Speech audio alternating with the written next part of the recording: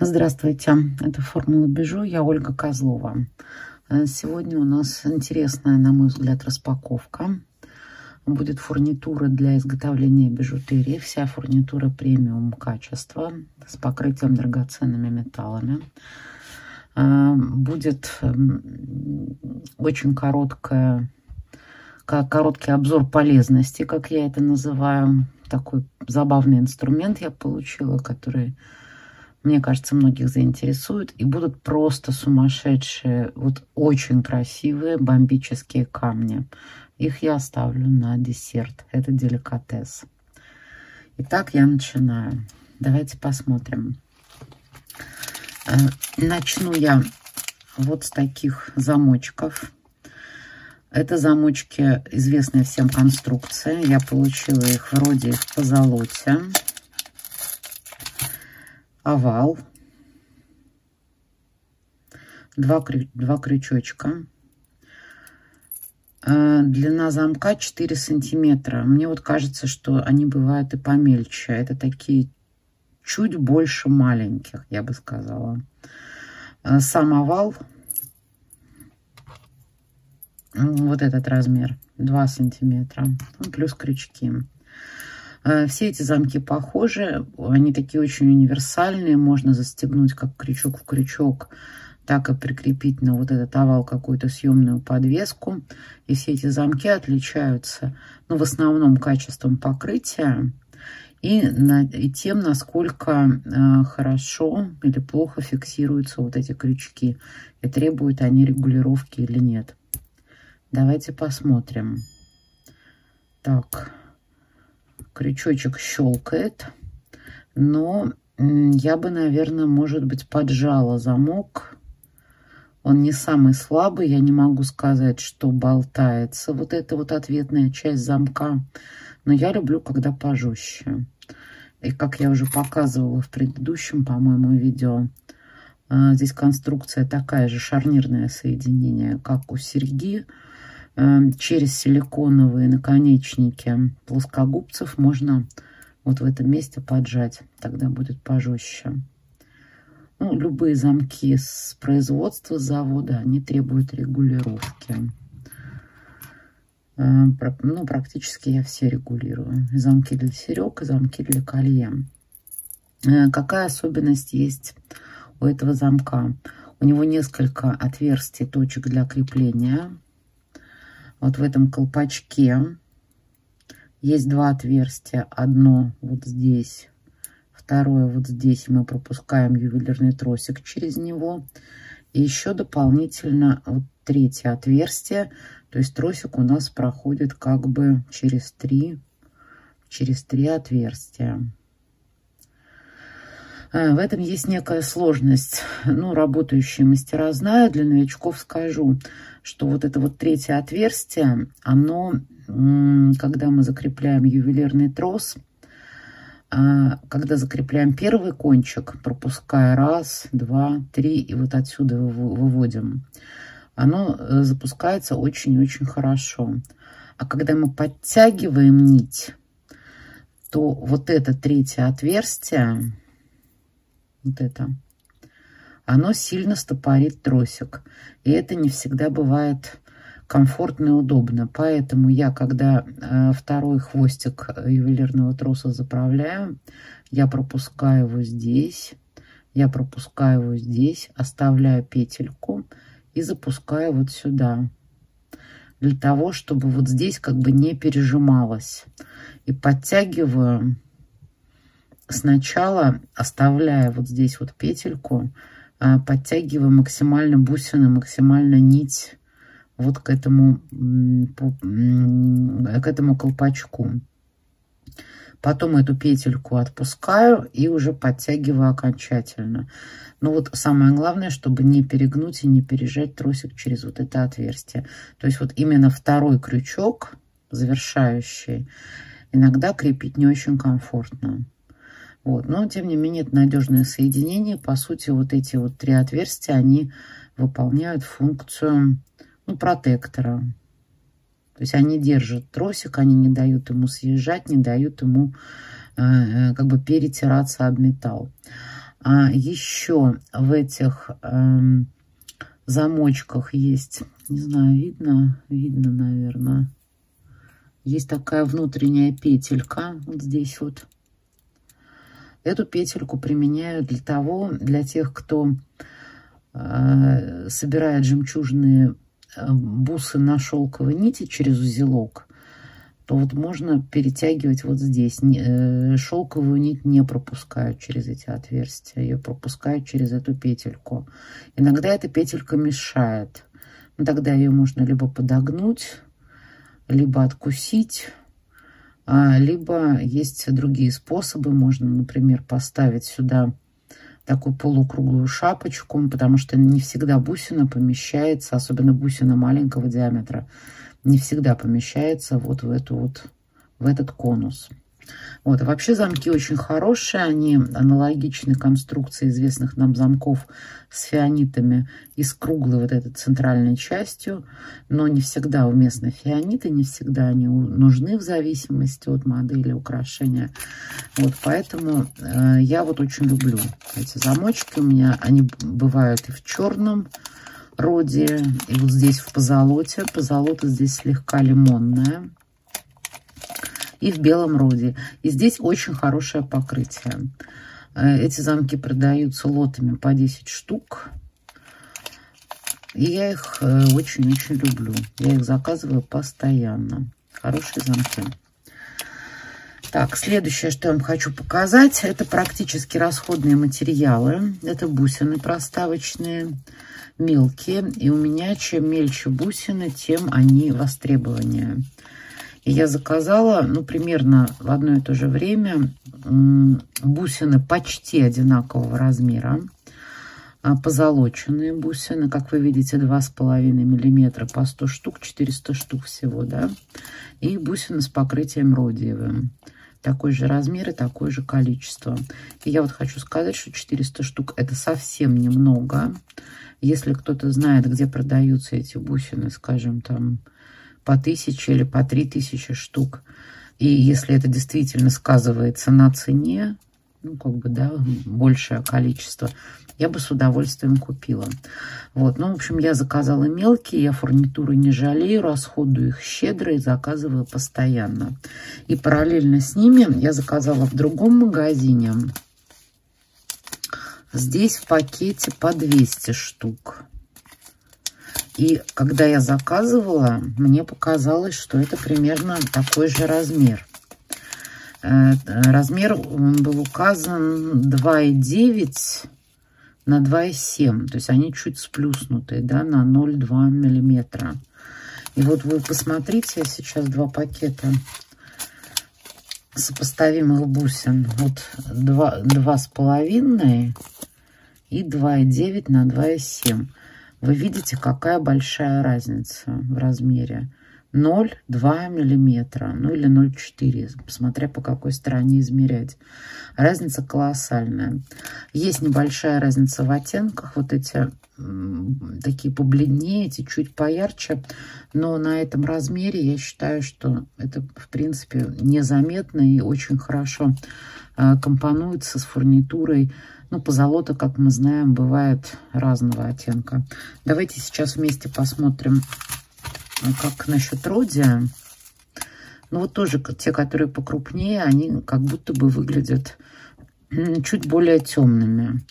Не знаю, может быть, это эффект пакетов. Не хочу я сейчас э, тратить время высыпать из пакетов в контейнеры. Вот, но, по крайней мере, вот эти кажутся более темными, так же, как и по золотам в предыдущем, да, в предыдущем варианте.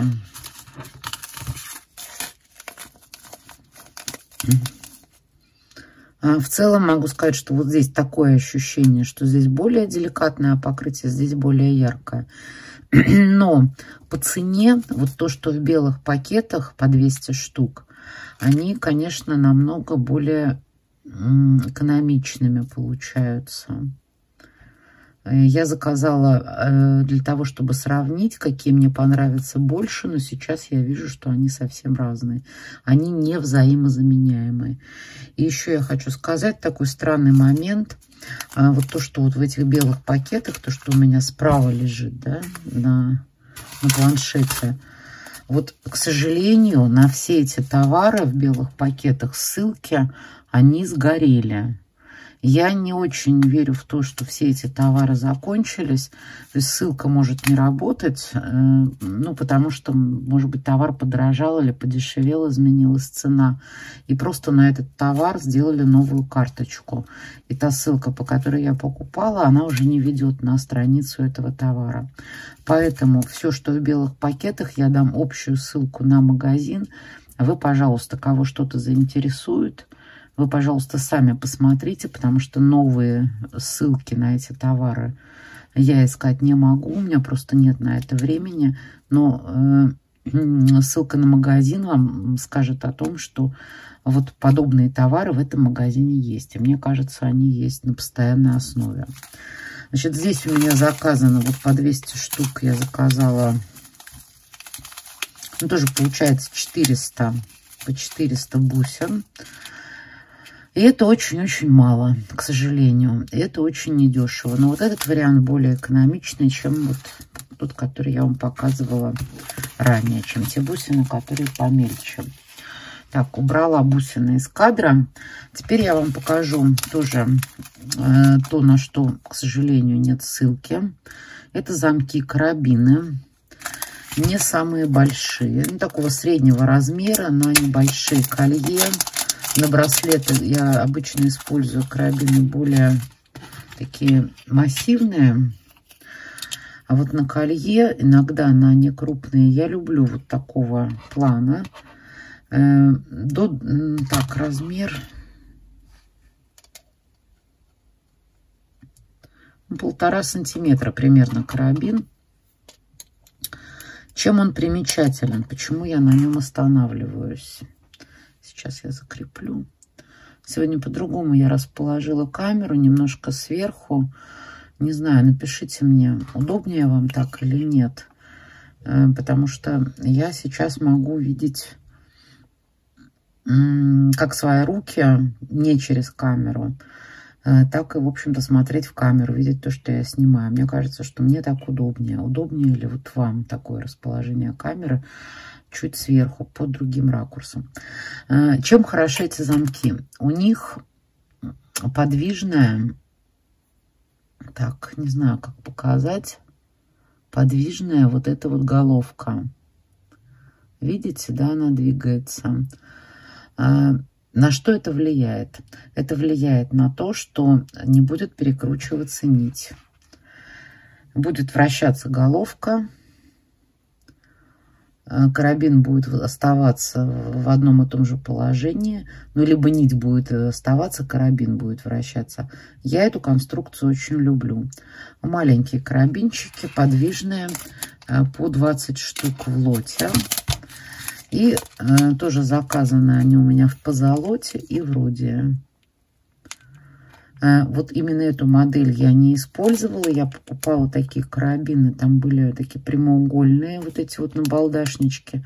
Не знаю, как их правильно назвать. Бусинки, да, которые перед подвижной частью. Вот сейчас вот такие сплющенные эллипсы.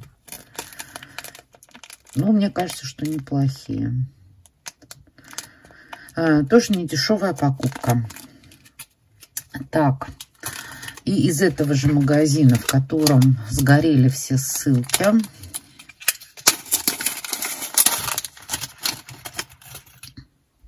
коннекторы. Коннекторы в виде веточек коралла с фактурной поверхностью. Я их уже использовала и в родиевом покрытии, в позолоте в своих работах. Я их люблю, потому что мне они кажутся изящными, они очень хорошо сочетаются с гладкой фурнитурой. Э, как-то вот деликатно. Это коннекторы э, с двумя точками крепления. Одно колечко вот с этой стороны, второе вот здесь – вот это кольцо паяное. Это разъемная, кажется. Сейчас я не вижу в камеру, насколько я помню, одно разъемное, другое паяное, да. А, использовать их замечательно в серьгах, в подвесках. Можно веточками наверх, веточками вниз.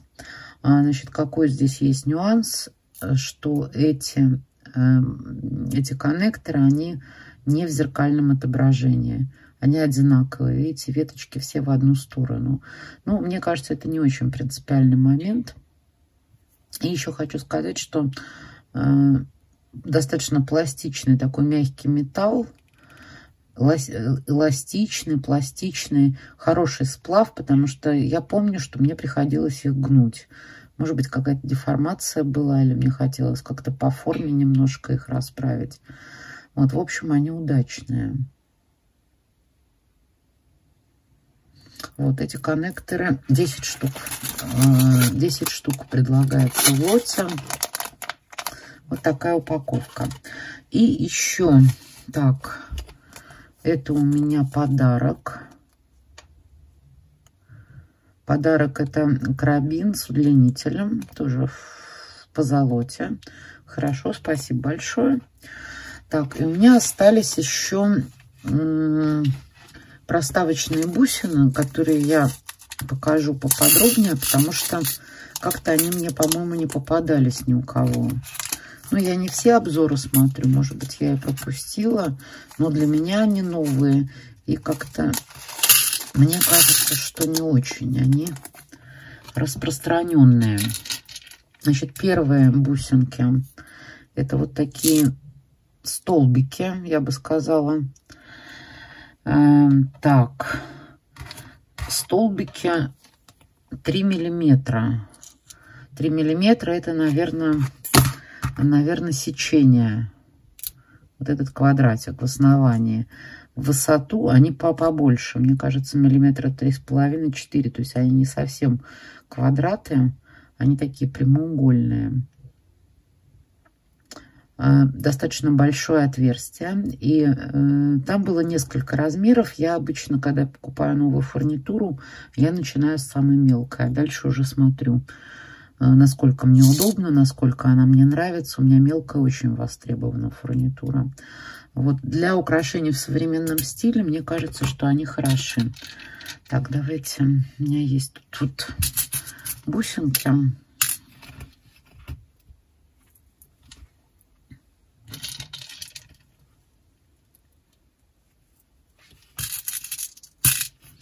Посмотрим, как они будут выглядеть. Ну, будем, будем говорить в нити. Ой, мне кажется, очень хорошо. Смотрите, такой стильный, неизбитый, современный вариант. Может быть, я бы добавила сюда еще какие-то шапочки плоские. Но мне кажется, очень интересно. Такие блестящие грани. Вот эти вот столбики. Мне кажется, прекрасно. Хорошие. Бусинки небольшие. То есть для того, чтобы вы понимали, бусина 8 миллиметров. Вот, если бусины будут крупнее, соответственно, сами вот эти проставочные бусины будут выглядеть мельче. Вот, но подвижности, да, с такой формой бусин Э, проставочных мы не добьемся подвижности соединения. Тоже надо понимать. Если, например, это серьга, вот так, да, это маленький очень размер для серьги. Ну, мне кажется, что элемент интересный. Его бы еще чем-то обыграть. Это на мой взгляд. Так, а, следующие бусинки, давайте сначала покажу их в массе. Это такие диски, э, как витая веревочка, похожие на витую веревочку. Соответственно, если мы такой диск разместим между бусинками, мы, собственно говоря, увидим только боковую поверхность. Больше мы ничего не увидим. Сейчас я вам покажу. Так. А если этот диск, например, мы разместим на пин э, с круглой головкой, то получится очень хорошее декоративное оформление бусины.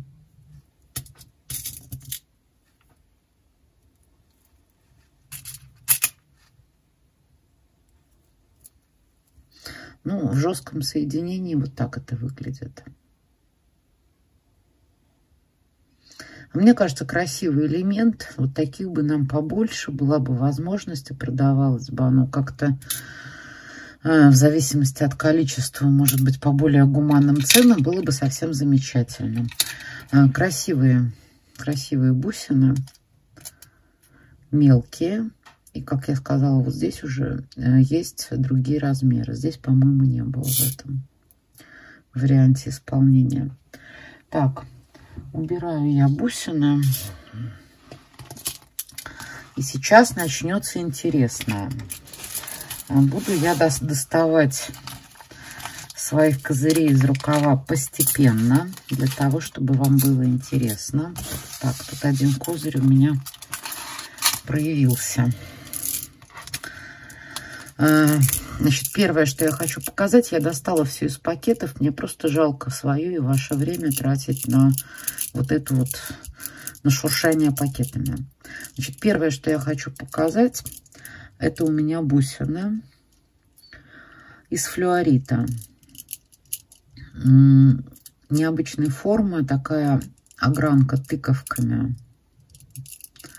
10 на 12 миллиметров бусины. У поставщика было заявлено, что 38 сантиметров нить. Ну вот я получила два браслета. Если так примерно, примерно представить, у меня 17 сантиметров запястья, мне браслет очень-очень плотно. Но сами бусины имеют объем, да. То есть, наверное, длина 18. Я думаю, что поставщик немного слукавил. И ну, для того, чтобы сэкономить потому что лот этот не дешевый. Вот эта пара, пара браслеток на эластичной нити, она не дешевая. Ну, наверное, решил немножко сэкономить пару сантиметров, дюйм. Я так думаю. Ну, не знаю, почему заявлено, как нити продается браслетами. Значит, что я хочу сказать по поводу этих, э, по поводу этих э, камней. А вы знаете, конечно, вот, вот это вот впечатление, когда ты распаковываешь посылку, и твои ожидания, и то, что ты видишь, это очень важно. То есть вот вау-эффект, когда «А, увидел и вот думал, что будет такое, оно еще лучше. Вот этот вау-эффект, он или есть, или его нет. Я честно скажу, вот здесь вау-эффекта у меня не было.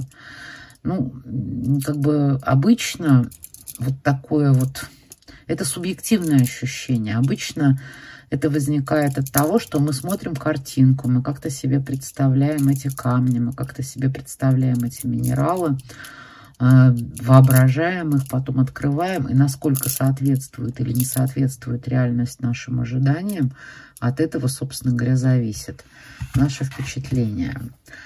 Э, сказать, что здесь эм, как-то камни сильно отличаются от того, что было на картинке у поставщика, я не могу. Но мне кажется, что там было как-то больше камней насыщенного вот такого бирюзового оттенка. Я бы хотела их видеть в своих нитях больше. Вот такой пурпурный оттенок присутствовал. А у меня больше вот таких вот бледно-бледно-зеленых. Причем я вам могу сказать, что вот иногда некоторое освещение и камера могут делать комплимент камням. И мне кажется, что в этом случае как раз оно и произошло. То есть э, на самом деле камни несколько бледнее, чем вы видите это на камеру.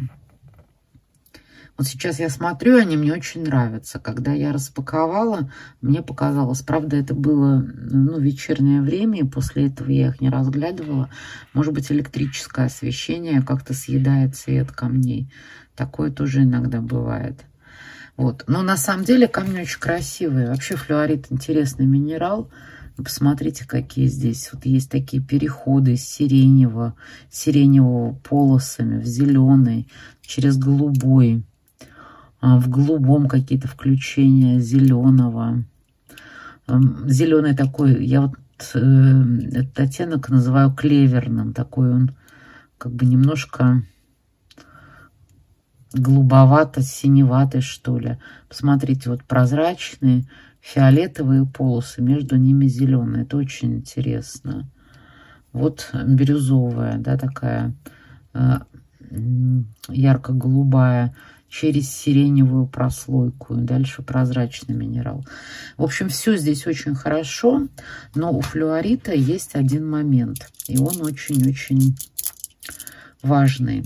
Флюорит – мягкий минерал. То есть на самом деле вот в виде браслета вот такого плана я его совершенно не рекомендую использовать. И вообще э, он, э, ну что в этой форме бусин, что в другой, предпочтительнее использовать, конечно, либо в серьгах, либо как-то фрагментарно в колье, потому что браслет, он просто будет стираться, он будет такой, знаете, ну есть слово покоцанный в той пыли, которая у нас присутствует в жизни, к сожалению, в больших количествах, содержатся частицы кварца. И при соприкосновении с поверхностями вот э, будет камень, он будет мутнеть, он будет неприглядного вида.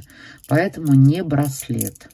Серьги, э, фрагмент для колье. Ну вот, конечно, такие фигурные бусины только фрагментарно можно использовать. Э, цена не маленькая. Но, в принципе, я этой покупкой довольна. То есть вот я сейчас смотрю, чем больше я смотрю, тем больше он мне нравится. Мне кажется, он очень красивый. Но я бы предпочла ну, немножко другую комбинацию бусин, чтобы было побольше ярких. Потому что это в любом случае акценты. Вот, вот, например, вот такую одну бусину в, акци... ну, в, ак... в качестве акцента использовать будет сложно. Ну, где-то можно, наверное. Вот. В общем, вот такой вот апатит с необычной формой. Да, я хотела еще сказать, что есть небольшие огрехи по огранке. Я видела, ну, за счет того, что минерал мягкий, его достаточно сложно подвергать обработке. Он, наверное, не совсем держит форму. То есть есть какие-то такие потертости небольшие. И некоторые бусины, не знаю, это мы увидим или нет, они как будто бы более плоские, что ли, ну, чуть меньшего размера. Так, с апатитом мы закончили. А следующее интересное, что я вам хочу показать, это вот.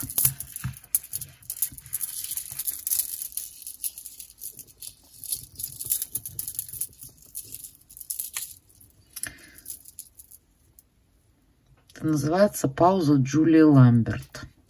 Если взял паузу, держи ее сколько можешь.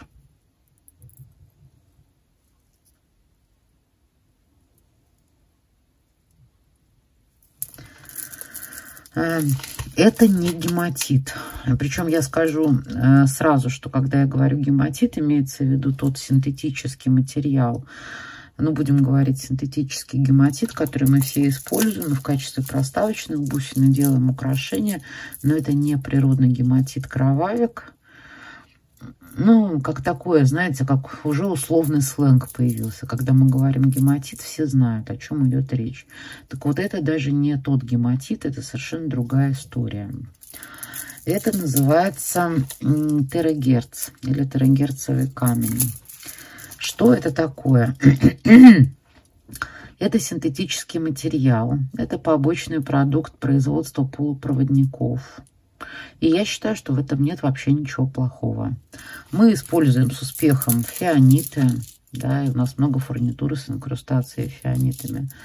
А в ювелирном производстве используются фианиты. Тоже не, не самый натуральный материал, то есть совсем не натуральный. А вот это новый, современный.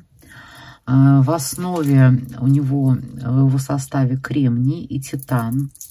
Э, каким образом он синтезируется, я не знаю, но вид у него потрясающий, конечно. Внешний вид совершенно потрясающий.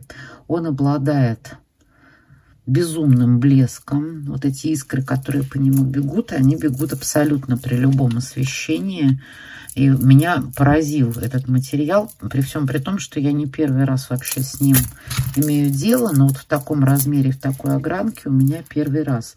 И я даже приготовила свои старые такие простенькие образцы но я даже на них поняла, что это что-то другое.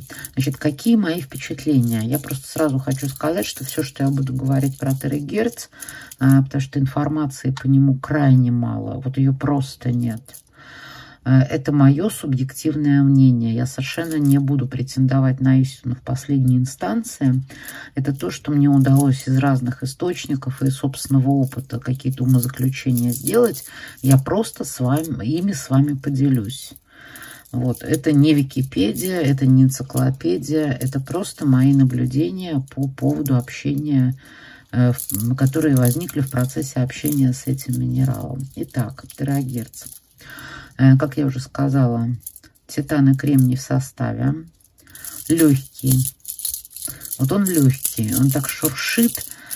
И по ощущениям, я вот не, ну, не измерила, какой у него удельный вес, но по ощущениям он, наверное, ну, что-то такое ближе к некру, как сказать, к, к сопоставимого размера культивированному жемчугу, мне так кажется.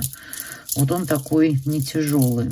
Значит, он не очень холодный, он достаточно быстро нагревается в руках, но при этом, когда ты держишь вот его в руках, абсолютно нет ощущения пластмассы. Вот у меня все время ощущение, что какой-то прямо космический материал, что-то такое углеродное, хотя углерода там нет. Но я повторюсь, это мои субъективные ощущения. Что еще? Я сейчас пока положу вот эти нити и покажу вам. Я на самом деле уже имела дело с терагерцем и имела дело вот в таких вот образцах. Я покупала когда-то ну, достаточно давно а, терагерц гематит. Так, сейчас я вам разделю. Справа гематит, справа терагерц. Для того, чтобы... Я купила просто достаточно много, поэтому у меня осталось, и до сих пор я пользуюсь. Вот две ниточки справа это гематит синтетический, а слева терагерц. Но вот разница на самом деле, я не знаю, насколько это заметно в камеру, разница очень большая. Во-первых, ну, у терагерца больше блеска игра, а, потому что я к этому еще вернусь, к его твердости, которую я тоже пыталась определить, но это более твердый минерал по сравнению с гематитом, и за счет этого он может держать э, такую более четкую огранку. У гематита он, такой более округлый получается, у него все грани завалены. Вот это маленький размер, это, наверное, миллиметра два у меня. Ну, плюс отверстие, да, вот э, гематит у меня на леске, а трагерц на нити. Значит, цвет – ну, гематита может быть любой цвет, как бы цвет покрытия, он может быть и черный, и серебристый, и металлик, и злат, ну, вы знаете. А вот терагерц, у него присутствует такой голубовато-сизый оттенок. И он есть и вот в этих нитях тоже. Ну, по крайней мере, вот я его прослеживаю. И это не покрытие, по моему мнению. Это именно вот в результате полировки он приобретает вот этот цвет. Я так думаю. Я не уверена. И еще какой интересный и важный момент. Я пыталась Терагерц использовать в качестве проставочных бусин и не сильно перетягивая, я уже не помню, что там у меня было, колье или браслет, у меня треснули бусины вот эти вот. Ну, здесь, конечно, очень маленькие камни и достаточно большое отверстие даже под нить. И слишком большое, видимо, было напряжение для таких тонких слоев. И у меня просто эти бусинки, две бусинки рассыпались треснули. Я человек любознательный, я стала рассматривать, и внутри я увидела такую структуру, я даже не знаю, она напоминает, наверное, знаете, как магнит выглядит, как будто бы это прессованный какой-то порошок, такой плотный-плотный. То есть структура не пористая, но это и металлом назвать нельзя. То есть что-то вот очень похожее, мне кажется, на магнит. Но он, он не магнитится. Это просто вот с чем можно сопоставить. И, в общем, какие я сделала выводы? А, нет, я еще проверяла терагерц на твердость. И он у меня не царапается шестеркой. И не царапается семеркой, ну и не царапает семерку тоже. Семер... Ну, я имею в виду твердость по шкале Маоса. Соответственно, видимо, у него высокая твердость, около семерки. А, данных о твердости я как-то в интернете не нашла. Я не могу сказать, что я там искала э, днями и ночами информацию. Но так вот сходу я не нашла. Мне проще было проверить самой. И семерку у меня он не поцарапался. Вот, при этом э, семерку э, я пробовала на бериле, он ее тоже не поцарапал. А, соответственно, я сделала какой вывод, что терагерц, он хрупкий, но твердый. Но мы с вами понимаем, да, что хрупкость и твердость – это совсем разные понятия. Понимаем? Давайте я приведу пример. Вот смотрите, вот если, например, кусок мыла взять, да, а, кусок мыла, если вы его уроните на пол, с ним ничего не произойдет. Он не хрупкий, но при этом он мягкий. А если вы возьмете хрустальную вазу и уроните ее на пол, то хрустальная ваза разобьется, потому что она хрупкая. Но при этом хрусталь, он тверже, чем мыло. Вот, собственно говоря, в чем разница. То есть вот мое ощущение такое, что терагерцевый камень, он э, хрупкий, но твердый. Если вы будете его разбивать молотком, скорее всего, вы его разобьете. А если вы его будете царапать, скорее всего, вы его не поцарапаете. Вот такая вот история. Теперь возвращаюсь к моим нитям. 8 и 10 миллиметров в огранке. Э, цена высокая. Я даже вот по этим нитям могу сказать, когда я приобретала, разница, наверное, раза в два с половиной, в три была между сопоставимым размером огранка гематита и терагерца. Вот так вот. То есть это не дешевый материал, материал современный, интересный. Э, посмотрим, как он себя зарекомендует в украшениях. Я встречала встречала в украшениях, с ним работают мастера, но вот у меня такого обширного опыта не было. Эм, если вставлять его как отдельные акцентные бусины, мне кажется, что этот акцент, он перетянет вообще на себя все. Если делать нить, вот не знаю. Ну, в общем, я пока впечатлена. Вот пока я его держала в руках, он стал теплым. Ну, собственно говоря, в руках и любой минерал нагреется. В общем, интересная история. Рассказала вам про Трагер все, что я знаю. Может быть, что-то нафантазировала. Но как бы информации по нему мало. Информации мало. Работать хочется, и новые материалы красивые применять хочется. А вдруг это Трагерц, это новый фианит. Необычный. Эм, и следующий. А нет, давайте перед тем, как я вам покажу вообще супер-пупер бомбу, я вам покажу вот такой пакетик. Я получила два инструмента вот таких. Причем я получила их с третьего раза, правда, от разных поставщиков. Это инструменты для увеличения отверстий в бусинах.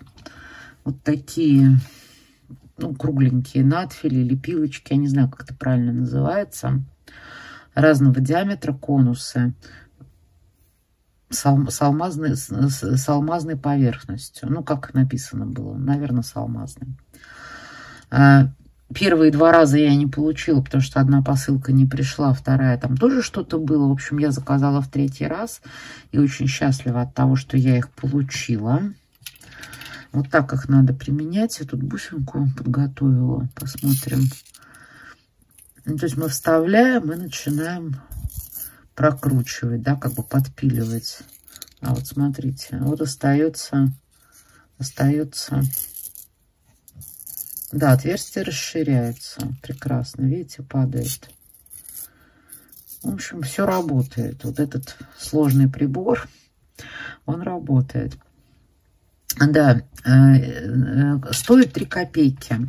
Э, почему не удалось получить, мне получить два раза до этого, я там уже не помню, но что-то было с доставкой, два раза мне возвращали деньги, но все-таки вот я решила третий раз, стоит 3 копейки, но платная доставка. Но в целом получается намного дешевле. Я видела, у нас в Петербурге продаются в офлайн магазинах там набор из четырех разных ну, в общем, я решила, что куплю пока два, и, наверное, мне этого хватит. Мне кажется, для жемчуга очень хорошо вот этот тоненький, потому что, ну, с жемчугом бывают такие отверстия, в которые даже а, ланку два раза не протянуть. Вот, ну, посмотрим, как будет держаться во всех этих инструментах. Больное место – это вот это вот крепление. То есть главное, чтобы не выскакивали они из своих ручек. Вот. Ну, пока, в общем, я очень счастлива, но стоит, я вам ссылку оставлю, посмотрите. И обращайте внимание на стоимость доставки. Так, и завершающая, завершающая история, которую я вам покажу, ну, это, конечно, супер премиум пупер качество. Это просто потрясающей красоты. Аквамарин природный без усиления цвета. Не знаю, как вам его показать. Так, наверное. Небесный, прекрасный, прекрасный оттенок. Великолепная огранка. Это крупный, очень-очень крупный аквамарин ну, очень-очень крупный, понятно, что он не 3 сантиметра, он 8 миллиметров. Кубик с ребром 8 миллиметров. Но для аквамарина такого качества это много. А, хорошо отцентрованные отверстия, видите, да, какие ровные нити. Прекрасные. А, хорошо подобрано по цвету. В общем, здесь один-два недостатка. Это первое, размер. То есть, как вы видите, эти нити, они короткие. Они короткие. А, так, какая, какой у них размер, я уже, честно говоря, не... Ну, полнити. Здесь заявлено у поставщика 23 бусины диаметром 8 миллиметров. Вот посчитайте сами. И я обратила внимание, что у меня одна нить пришла короче на один камень я обычно это не делаю, но я посчитала, вот здесь 23. То есть два камня вот в этих ниточках мне достались бонусом. 23 нити. А, как только я получила, я, конечно, захотела заказать еще. И, в общем, его уже нет, ссылка сгорела. Но, конечно, я напишу, в каком, даже не буду я, наверное, писать, в каком магазине, в том же магазине, в котором Терагерц. Терагерц еще есть, ссылка рабочая. Но просто, чтобы вы понимали, что такого качества камня они там тоже есть. Но цена очень высокая. То есть вот это украшение здесь хватит. Здесь хватит на колье и, наверное, на браслет. Ну, с какими-то, может быть, добавлениями, там, замочками. А, не такие большие нити. Цена, конечно, в общем, хорошая не бывает дешево. Я скажу банальность, ну, вот так вот. Но очень красивые камни, великолепного качества. Вот скажите, это вот десерт же, правда? Вот я оставила вам десерт, чтобы вам показать. И, ну, я не знаю, насколько камера передает или не передает масштаб, но они крупные. Они крупные. Ой, красота. Я могла бы сидеть и вот любоваться и охать и ахать в камеру очень долго. Вот. Но время – деньги, э, ваше время – ваши деньги, поэтому мы на сегодня заканчиваем. А, пожалуйста, напишите мне, что вам понравилось, что не понравилось. А с вами была Формула Бежу. Я Ольга Козлова. Всего доброго, до свидания.